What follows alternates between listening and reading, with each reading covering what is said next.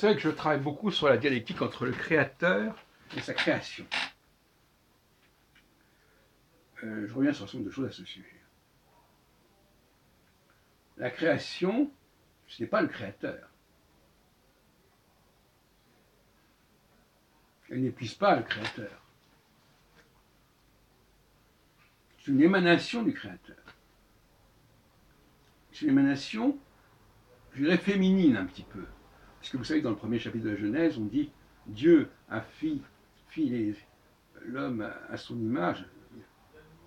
Contrairement à dit, il n'a pas fait l'homme et la femme à son image. Il a fait l'homme masculin et féminin à son image. C'est pas la même chose. Et la création de la femme, c'est après, chapitre suivant.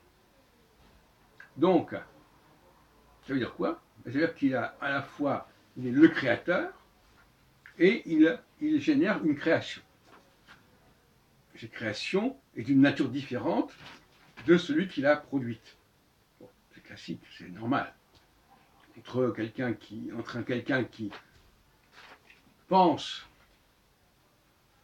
un peu comme Descartes par exemple, et quelqu'un qui laisse des paroles, un texte, ben, ce texte est d'une nature différente de l'être vivant qui l'a produit.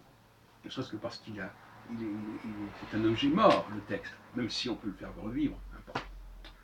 Mais il y a un troisième temps qu'il ne faut pas oublier. Il y a le temps du créateur, le temps de la création, et puis il y a celui qui prend connaissance de cette création. Et qui n'est ni cette création, ni le créateur. Donc on a un système ternaire, en fait. C'est intéressant parce qu'on pourrait retrouver quelque part la Trinité chrétienne. Le Créateur, le Père, la création, le Fils, et euh, le Saint-Esprit, le troisième facteur, qui serait euh, la façon euh, d'adopter, d'adapter cette création, de la, de la percevoir, de l'appréhender, etc.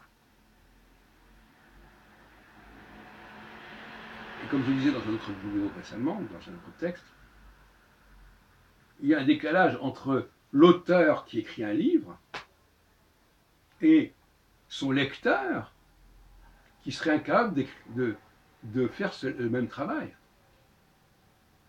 Donc on voit bien qu'il y a une sorte de dégradation. Le créateur, oui. La création, oui, mais elle est morte. Et alors le lecteur, alors lui, euh, c'est le troisième personnage. Hein. bon, alors il va, lire quelque chose, mais quelque chose dont il est absolument incapable d'avoir été lui-même le, créateur.